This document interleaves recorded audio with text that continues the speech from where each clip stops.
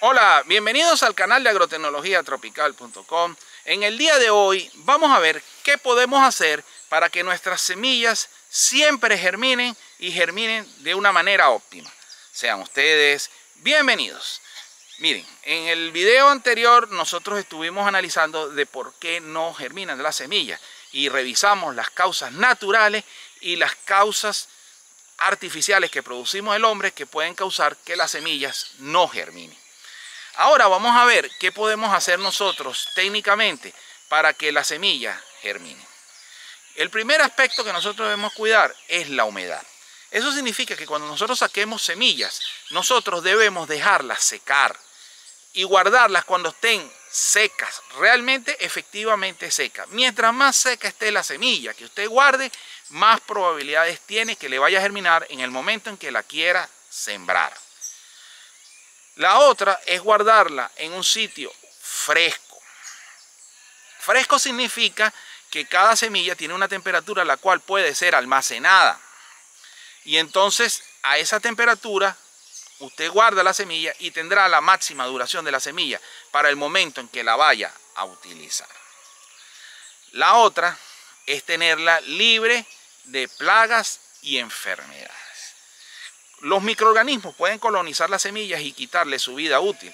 Mucho de su control se logra cuando se, cuando se le aplica este, la humedad adecuada en el recipiente en que va a guardar la semilla. Ahora, si ustedes usan algunos fungicidas, dentro de ellos el tirán es el más conocido, ustedes ayudan a proteger la semilla en forma superficial al ataque de ciertos hongos. Este, sin embargo, este, desinfecciones con alcohol, con cloro, con agua oxigenada, antes de secar la semilla, también ayudan a prevenir el desarrollo de hongos de una forma un poco más natural. Pero en la industria semillera es muy reconocido el uso del fungicida tirán para guardar las semillas. Y es ese polvito rojo que tiene la semilla que la recubre cuando está guardada.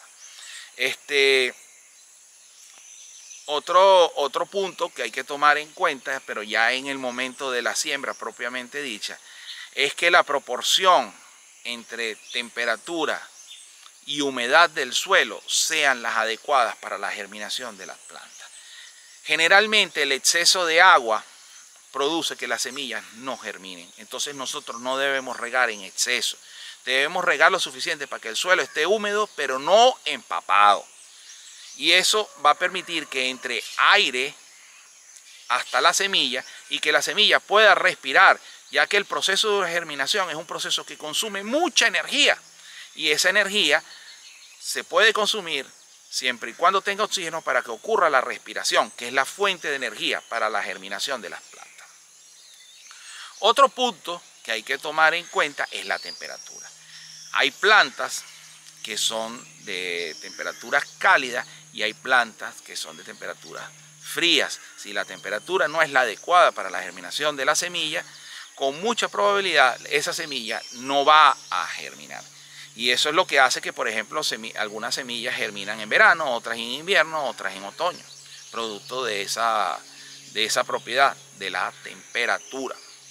Este, en los sitios donde hay invierno, es importante calentar el suelo para germinar algunas plantas si queremos que se, que, se produzcan en forma temprana. Y para ello, por ejemplo, los microtúneles es una estrategia que se utiliza. Entonces, en el área tropicales lo más importante indudablemente va a ser la humedad del suelo. Entonces, ahí tienen una serie de herramientas a considerar para lograr una óptima germinación de la semilla. Otra cosa que hay que considerar es que hay semillas como el cacao que no germina si se deja secar la semilla, ya que la semilla tiene que ser sacada fresca y fresca tiene que ser colocada en condiciones de mucha humedad para que la semilla germine, porque son semillas que se conocen como no recalcitrantes. Y eso significa prácticamente que no se pueden dejar secar las semillas, ya que el embrión moriría. Entonces ese es otro caso diferente. Entonces, bueno, sin más que decir, así concluye otro video más del canal de agrotecnologiatropical.com. Los invitamos a seguir viendo otros videos de nuestro canal y a suscribirse al mismo, así como darle a la campanita para ser informados cada vez que subamos un nuevo video para ustedes.